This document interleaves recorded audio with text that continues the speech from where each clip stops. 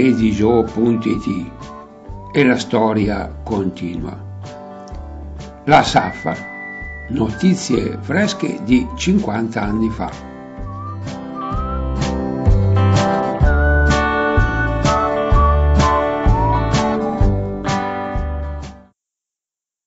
Ditelo pure con i fiammiferi. Chi propone fiori, chi libri, chi dischi, v'è chi dà baci e, e carezze, altri invitano a pranzo, al cinematografo, a teatro, in campagna. La Saffa produce e offre fiammiferi, che non sono cose da niente, ed esorta ad acquistarne e a regalarne. Ditelo con i fiammiferi, i cerini, i fiammiferi. Quante interpretazioni.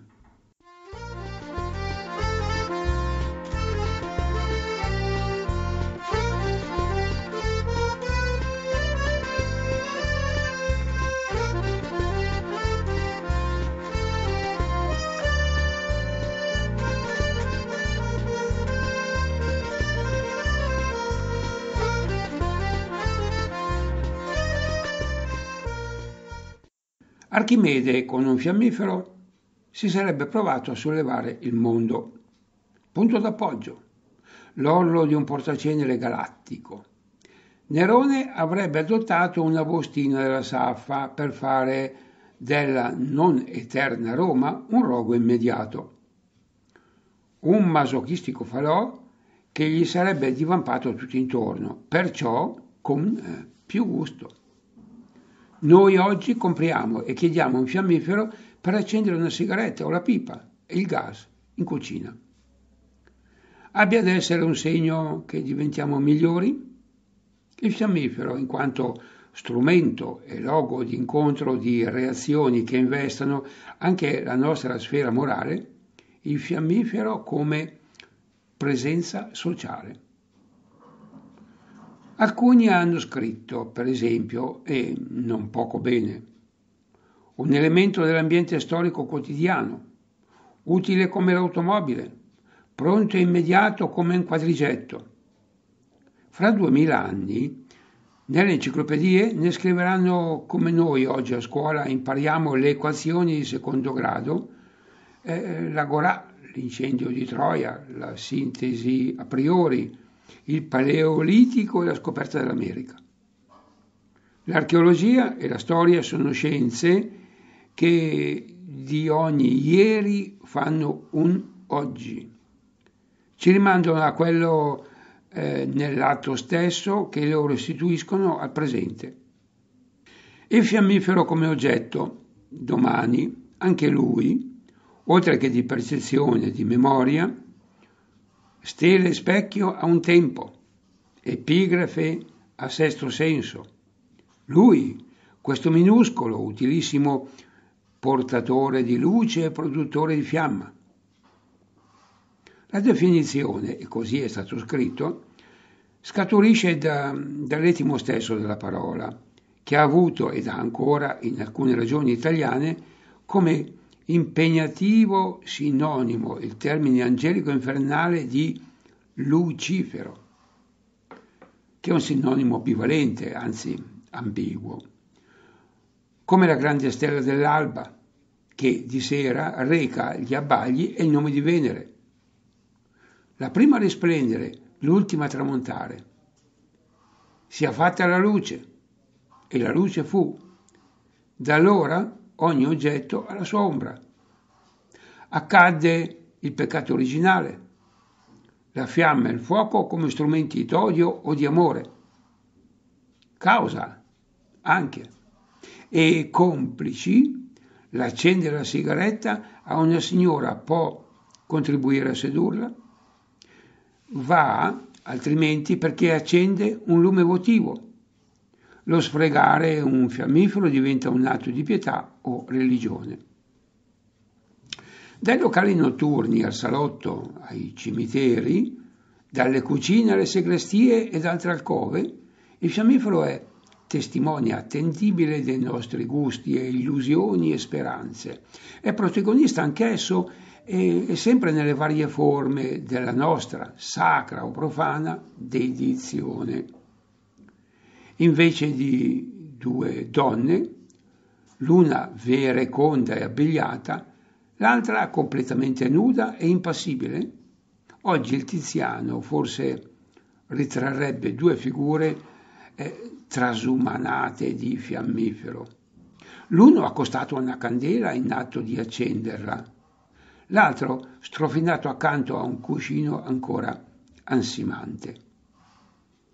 Diana non si sarebbe fatta attonito quarto, un'unghia di, di luna per spiare la nuda bellezza di Endimione, se fra il pollice e l'indice avesse potuto stringere un fiammifero.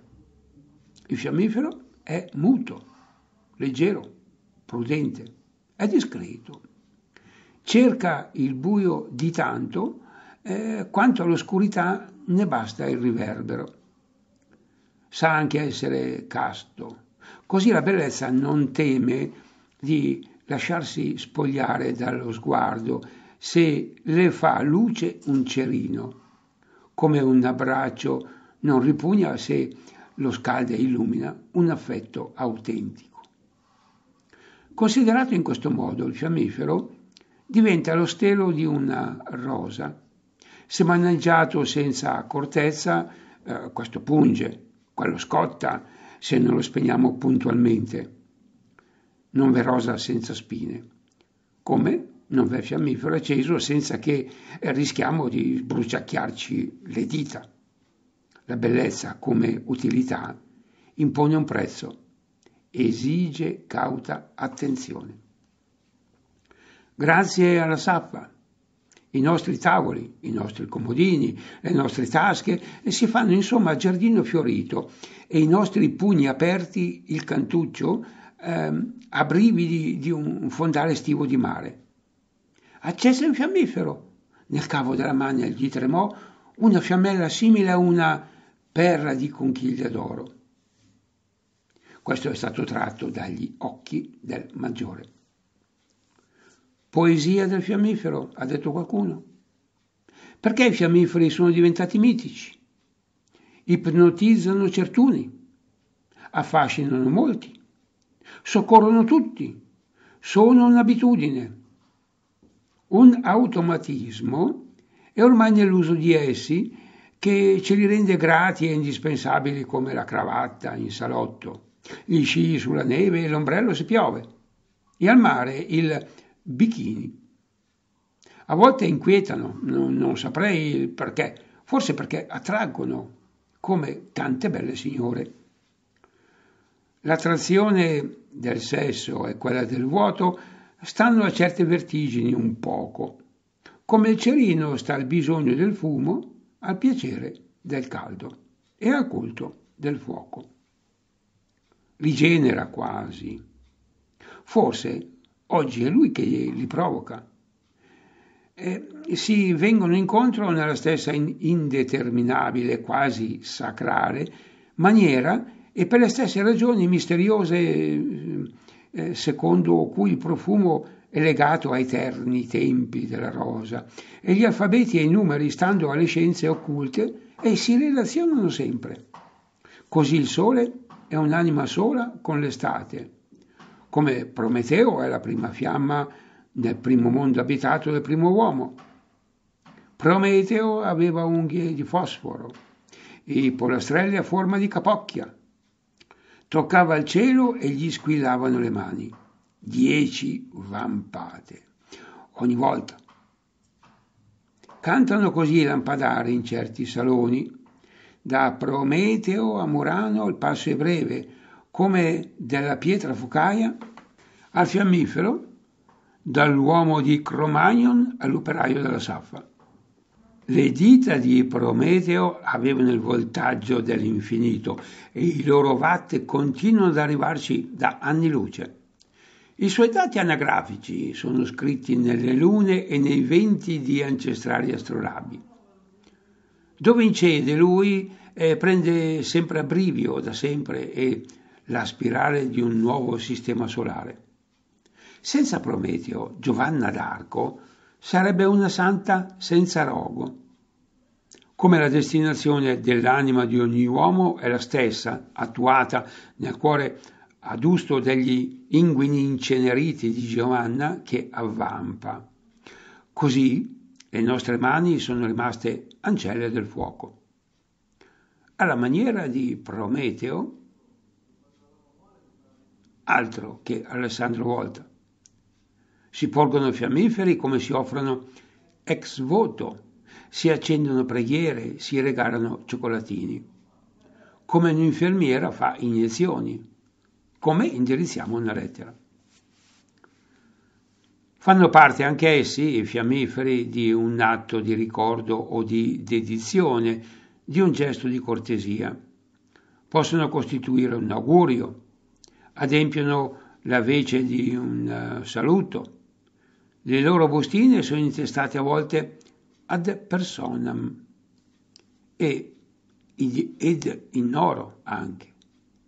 Una bustina di fiammiferi è capace di sostituire oggi un biglietto di visita. Dicono il nostro stile. Hanno un galateo proprio. Con un Minerva preveniamo altri nell'accendere la sigaretta, così come sul tramvai lasciamo il posto a un invalido o una vecchia signora. Una bustina di fiammiferi la si può spedire, a volte in cartoncino foderato di stagnola. Calatafata e leggiadra come una gondola, luccicante, argentea, all'interno, come all'esterno squillano eh, gli automobili, pullman, gli hangar, le crode, gli idrovolanti, i ghiacciai, gli aviosetti. Arrivato bene, ciao, fuma la mia salute, ti abbraccio, ricordami i fiammiferi come telegrammi, cartoline, lettere, perfino eh, come sonetti. Vi è una poesia delle cose e si scrivono poesie su ogni cosa.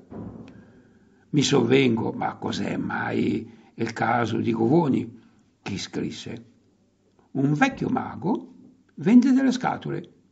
Dentro ci sono a letto tanti bambini, con in capo dei rossi berrettini Ah, sembrano fiammiferi. Invito a rileggere il quaderno. Questa distinzione fra la poeticità intesa come platonica, iperuranica e categoria dello spirito e poetica, anzi la poesia come eh, individuale e reiterato, fare pratico in ordine a una forma d'arte determinata e precisa. Vale anche per il fiammifero e non solo davanti al caminetto o per un tête à tête, oppure sull'altare. Il fiammifero partecipa a suo modo anche alla nostra prima comunione.